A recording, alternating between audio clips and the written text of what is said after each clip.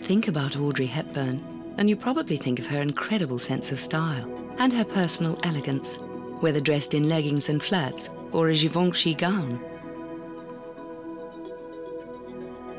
Today, that incredible know-how for clothing, her savoir-faire, continues to be a source of both admiration and inspiration to designers and ordinary women. In her choice of clothing, she invariably knew what worked for her and kept to it. Her selections were timeless classics and epitomized Audrey style. Since her late teens, Audrey had always enjoyed fashion, starting out first as a catwalk and photographic model, where she showed off other people's ideas of style.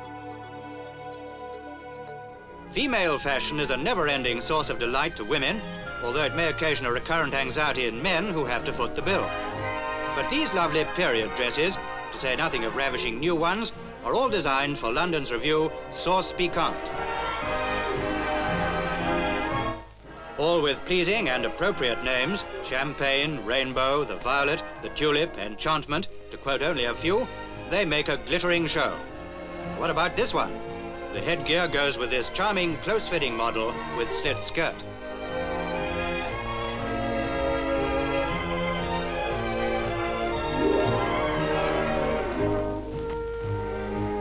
Or this, a diaphanous overskirt with great appeal, even if you don't fancy the ears. The costumes are specially made for the show. They make an unusual and striking pageant.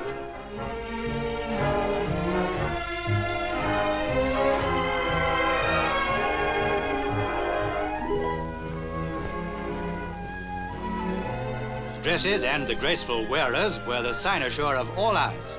For this was beauty, amusement and glamour all in one. Lovely screen star Moira Lister showed off two to great effect. Printemps and Enchantment. Everything about her, from earrings down to gloves, was designed to attract the admiring eye and add to her considerable natural endowments. A piquant sauce for the goose is equally a sauce for the male sex. So take a gander.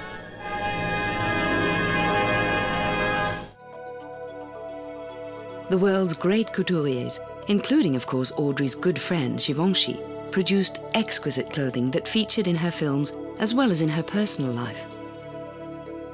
Both on and off screen, in a ball gown or jeans, she enthralled men and women with a look that was just right. Today, decades later, designers, style setters, and average people continue to be inspired by the Audrey Hepburn look. This spring season is really the meeting of Katharine Hepburn and Audrey Hepburn. And Katharine being a little bit more sporty, tailored, a little bit more man-tailored, and Audrey Hepburn being much more feminine and pretty. So what we've done is we've kind of blended those two girls and with these great little kind of sweetheart dresses, but with, you know, silk taffeta very sporty anoraks over them. I think that if you saw Audrey Hepburn in her heyday, she picked extraordinary clothes from Givenchy that made her look great at that moment. I think it's about the individual and what she feels she's going to feel comfortable in. The theme is definitely Audrey Hepburn, Marilyn Monroe, that's the icons of the 50s and the 60s. So these girls are amazing, and that's what I'm doing this season. Uh, this time I I I choose for uh, my inspiration uh, Audrey Hepburn and Jacqueline Kennedy because in this period of time, the, the women uh, uh, like. Uh, uh, too too much woman, too too much uh, elegant belt, uh, gloves, and bag.